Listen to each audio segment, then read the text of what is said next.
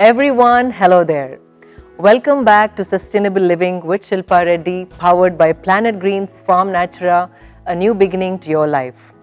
Today, on yet another episode of Kankatala Q&A with Shilpa, I will be addressing a few questions that we have received in the past few weeks. Following the tradition, today I am wearing a Gadwal sari. Named after the region wherein they are woven, the Gadwal sari dates back to around 200 years.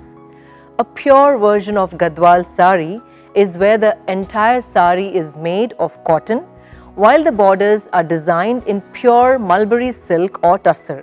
The magnificent and diverse weave with zari brocade on the border makes Gadwal sari one of the kinds and popular. Kankatala family has been working with Gadwal sari weavers for over 70 years to bring out elegant and exquisite Gadwal saris. The Gadwal saris are woven using a three shuttle weaving technique of Kuppadam and Kumbam for the borders. The saris are also woven using unique technique wherein the pallu and the border of the sari are joined to the primary sari after being woven separately.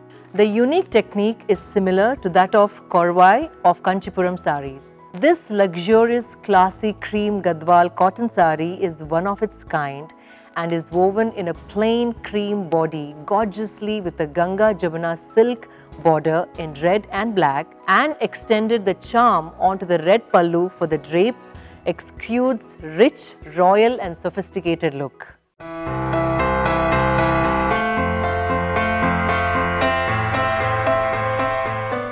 There is honey and there is honey. Beekeepers' honey is more likely to be unheated or raw. So look at the jar label for description like raw, unpasteurized and minimally filtered to be sure you're choosing honey with the health benefits like tiny grains of pollen and propolis included. Most of the honey in the supermarket is heated and filtered repeatedly to promote and prolong its shelf life so many of the natural properties are lost in this process. Secondly, a lot of honey in the shops is blended and not of single origin. Some local beekeepers mix all their honey together in a huge tank before opening the tap and filling in their jars. There are two things to work out from the label if you can. Time of the year and where the honey comes from. So information like early summer honey or borage honey or the address of the beekeepers are reasonably good indicators that the honey comes from the hives in that particular place.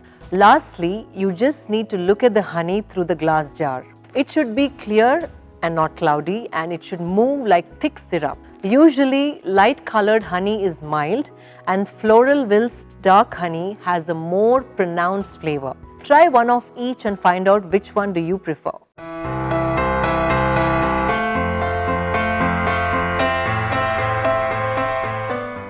Turmeric is an indispensable spice in the Indian kitchen. These days, there is a lot of adulteration of turmeric as well. Food color is being added to white flour with little composition of actual turmeric to make the whole composition look like turmeric and smell like it. One of the easiest way to check adulteration is to add a teaspoon of turmeric to a glass of warm water. Do not stir it and leave it still for a while. Check after about 20 minutes.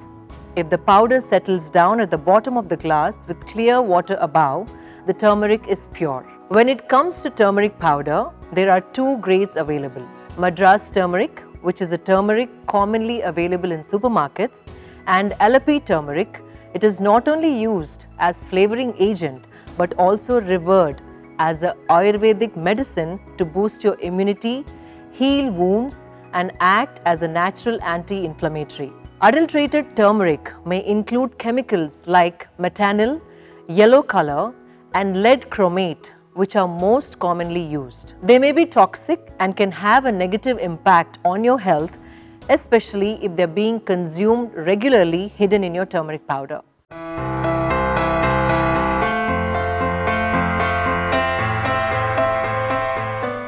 Peppers, corn, apples, cucumbers, carrots are few of the vegetables that absorb greater portions of pesticides when they are supplied to the soil. According to some experts, including natural farmers, even some of the organic producers in India have close to 30% toxic residues from the pesticides used on them during farming. Some toxins give in easily to a homemade mix of white vinegar and water. Make a solution of 10% vinegar and 90% water and soak your fruits and vegetables in it for about 20 minutes. Then rinse the produce in fresh water.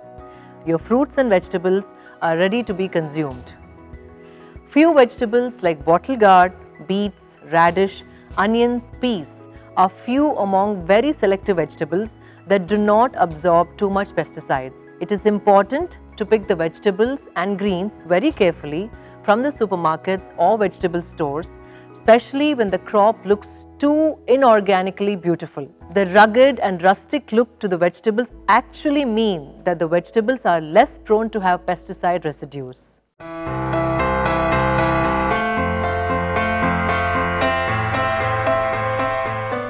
It is not about the price of the sustainable products. Any product when consumed in less quantities has a higher selling price because of the production cost being very high for the manufacturer or the producer. When the consumption of these consumables increase, relatively the price of the production can be reduced by the manufacturer.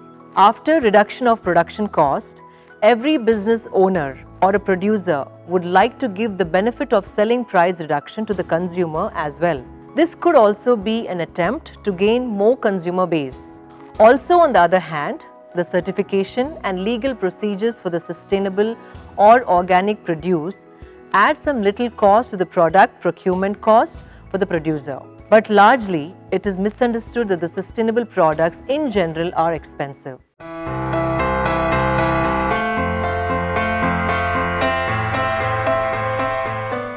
Organic certification is a certification process for producers of organic food and other organic agricultural products. In general, any business directly involved in the food production can be certified, including seed suppliers, farmers, food processors, retailers, and restaurants. A lesser known counterpart is certification for organic textiles or organic clothing that includes certification of textile products made from organically grown fibers. Organic certification is intended to ensure customers that a product marketed as organic was in fact produced according to the organic production standards which can vary by country.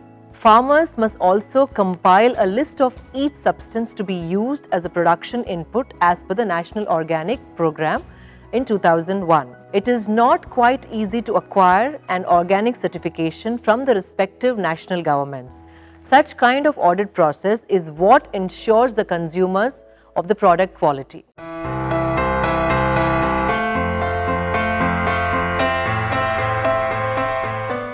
Every home can conserve water in a small or large way. By taking small measures that may include turning off running tap water while brushing teeth or having a mug of water for cleaning purposes. Using water blocking nozzles for your showers and taps is one of the best methods to limit the quick flow of running water. On the other hand, it is important to reuse the water for a different purpose instead of draining the water each time into the sink.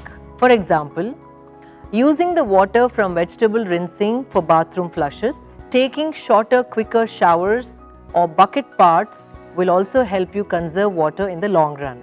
Fixing the leaking taps is another very important practice to conserve water in a very big way. Some of them put pebbles or rocks in the flush tanks to reduce water refilling capacity of the flush tanks. There is a new technology for flush tanks where hand wash will be redirected to the flush water and this is one of the most sustainable water conservation practices.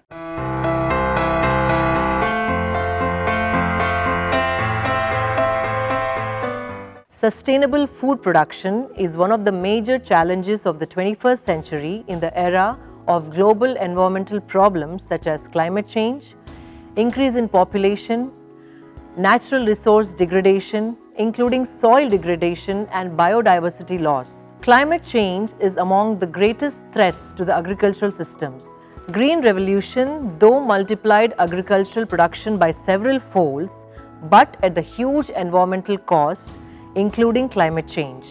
It jeopardized the ecological integrity of agro ecosystems by intensive use of fossil fuels, natural resources, agrochemicals and machinery. Moreover, it threatened the age-old traditional agricultural practices. Agriculture is one of the largest sectors that sustain livelihood to maximum number of people and contribute to the climate change. Therefore, a climate-smart approach to sustainable food production is the need of the hour. Traditional agriculture is getting increased attention worldwide in context of sustainable food production in changing climate. The present article advocates traditional agriculture as a climate-smart approach for the sustainable food production and also deliberates the correlation between climate change and agriculture.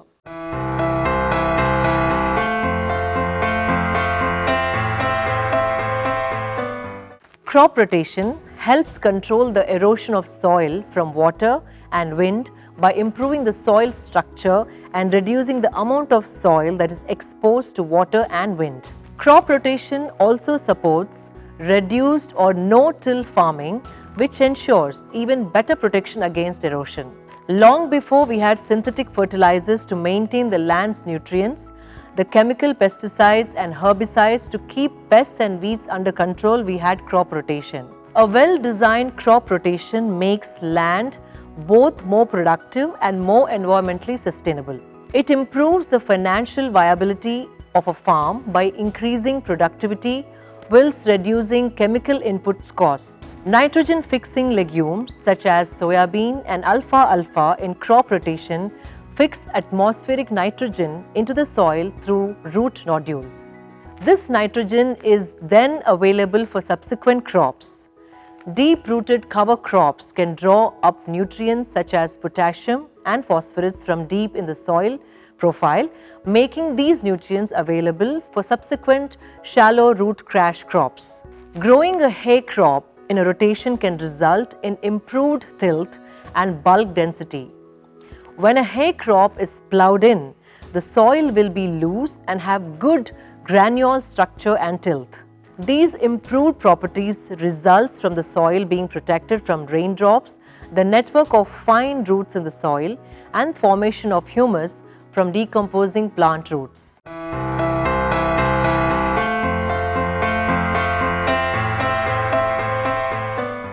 All the factors that are important to the entrepreneur in a standard business are critical to the successful sustainable business. Sustainability entrepreneurship builds on the basis of entrepreneurship and extends it to encompass addressing ecological and social concerns through the creation of new enterprise and innovation in existing enterprises. A key for successful sustainability entrepreneurs is to make sure that the new way of doing things they create provide value to their potential customers. By always thinking about doing things in the new and better ways, entrepreneurship is highly relevant to individuals and organizations interested in sustainability. Entrepreneurship in sustainable space is less explored. Having to start a venture in this space is more like being a pioneer for the business venture. The pioneer will always have monopolistic advantages. This is the time when most of the Indian citizens are accepting and understanding the need to consume sustainable products. Hope you all found this episode informative. Please do subscribe to my channel. Do not miss any updates. See you all next week. Signing off, Shilpa Reddy.